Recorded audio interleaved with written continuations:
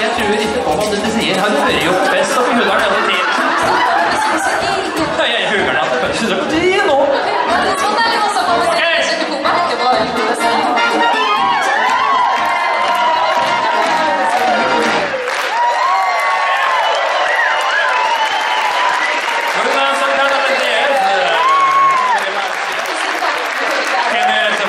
Amen.